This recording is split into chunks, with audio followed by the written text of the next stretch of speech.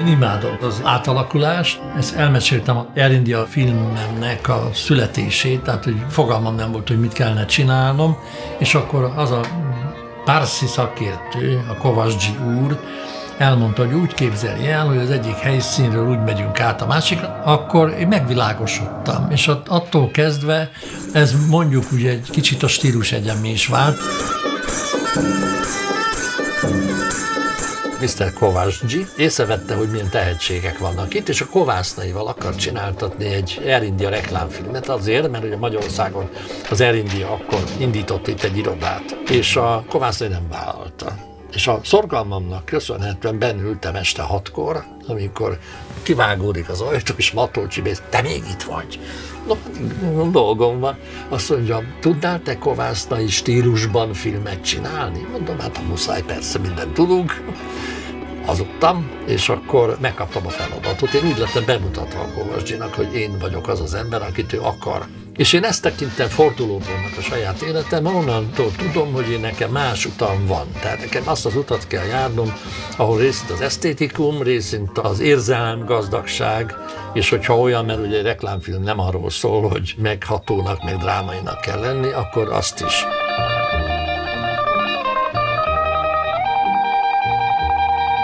kitaláltam egy olyan matematikai, vagy persze geometriai képletet, hogy az, amit a montázsról mondtak az oroszok, hogy a két képet összerakom, akkor a, a vágás új értelmet ad, engem fölizgatott az, hogy ki lehet bontani. Tehát, hogy a metaforát metamorfózissá bontom ki, és akkor ami közben van, az sem mindegy.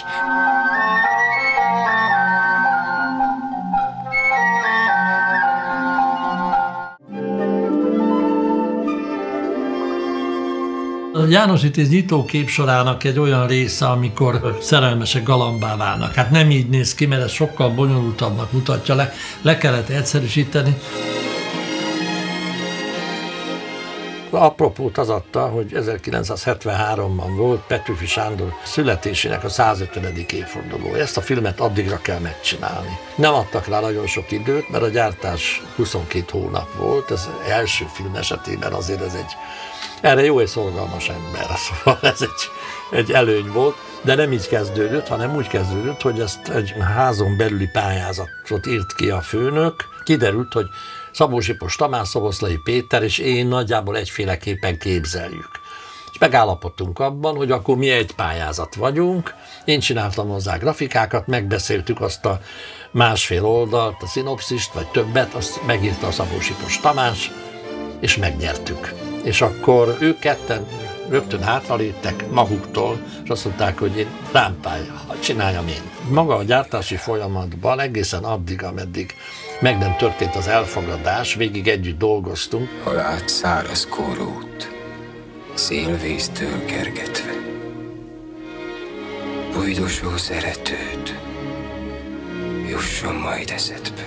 A képes forgatókönyv megvan nekem, hogy úgy mondjam, nagyon büszke vagyok, mert egy nagy segítség volt hozzá a Sárga tengeralattjáró. Ez tagadhatatlan, észre is vették a film elkészülte után, de én ideologizáltam, és azt mondtam, hogy ennek a filmnek az én számra az volt a jelentősége, hát most túl azon, hogy a Beatles zenét az ember szereti, hogyha 27 éves, mondjuk ez teljesen értető, hát korosztályon beliek a fiúk, már aki még él belőlük, hogy fölrobbantották azt a világot, amiben addig az animáció létezett. Volt két rétege, volt egy hollywoodi világ, ez a Disney féle, és volt egy UPA világ, ez a New Yorki fele, amelyik az európaihoz állt közel, és ez kellett nekem egy harmadik, mert én egyikbe se éreztem magamat igazán jól, és erre ez egy jó kiindulási pont volt. Egy olyan vonalrendszert kell találni, ami elbírja, hogy sokféle. Senkinek nem jutott eszébe azon problémázni, hogy ebben túl kicsi volt a feje, vagy itt meg túl nagy volt a feje. A nagy volt a csizma, azt mindenki szóvá tette, de az jött át az eredeti mintából, de annak itt volt oka, mert én azt mondtam, hogy béka perspektívába kell mutatnom a hősömet, tehát nagy láb, kis fej, felhőben a fej, lábakon így állunk a földön, mert mi olyanok vagyunk. Én ott álltam 73-ban a bemutatón, mint egy 30 két éves ember, és egy állati dolog, szóval egy fordulópont volt minden szempontból. Most az következett, hogy ennél nem lehet lejjebb menni, ez egy nagy feladat, mert nem lehet lejjebb menni. Magyarán nem szabad ugyanolyat csinálni, mert akkor biztos, hogy lejjebb megyek. Te egyetlen kincsem, hamva kedvesemnek, mutasd meg az utat. Én is majd követlek. Amikor a Magyar Népmese sorozat beindult, engem fölkértek arra, hogy én a grafikai részbe szálljak bele. És akkor így kialakult a szakmán belül, hogy én vagyok a népművészet is.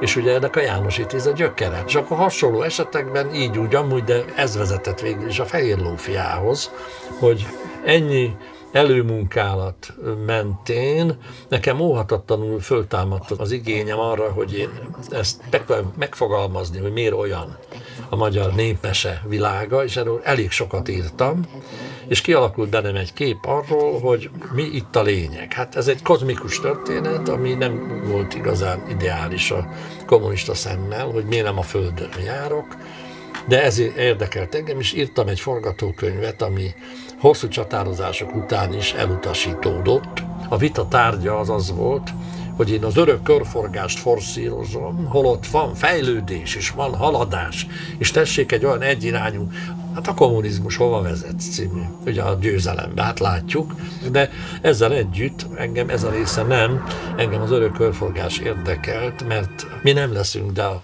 körforgás még meg lesz. и даже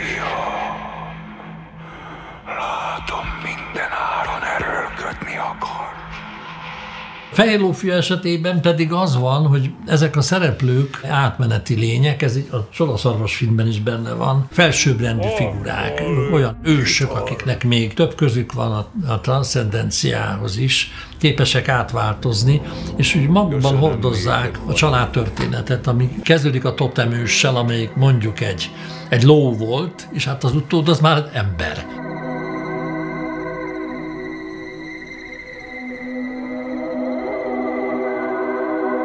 Én ezt úgy foghatom föl ezt a pillanatot, hogy azt a pillanatot választom ki, amikor a lótottam leszármazottja emberé válik. Egy születés, vagy a anya fölnyaldossa. Egyébként a ló is átváltozásban van, mert ő szarvasként fut az elején, jégagancsai vannak, és ez a kép onnan jött, hogy a Ónagy Gábornak a ilyen magyar szólások, közmondások című könyvében ott szerepel ez, lefagyott a ló szarva. Ez egy olyan mondat, hogy egyszer nem érted, hogyha nem, nem ebben utazol, hogy mit, mit, miről szól ez? Hát arról szól, hogy a ló elődje a, a hagyományban a szarvas volt. Ugye, amikor még ott éltünk azon a részen, és hogy a szkiták is szarvas népének nevezték magukat, tel is tele vannak szarvasábrázolásokkal, tehát szarvas totem az ősük, ugyanakkor pedig lótenyésztők voltak. Leköltöztek délebre, a szarvas már nem bírta olyan jól magát, és áttéltek a lóra, és ezeket a több ezer éves szétinfekvő történeteket össze lehet így tömöríteni egy-egy képbe, nem biztos, hogy ezt megértik. Marad az a, jaj, de aranyos gyerek lett a csikóból. És ennyi elég. Beül az agyába. Ha elég kicsi, akkor ez meghatározó.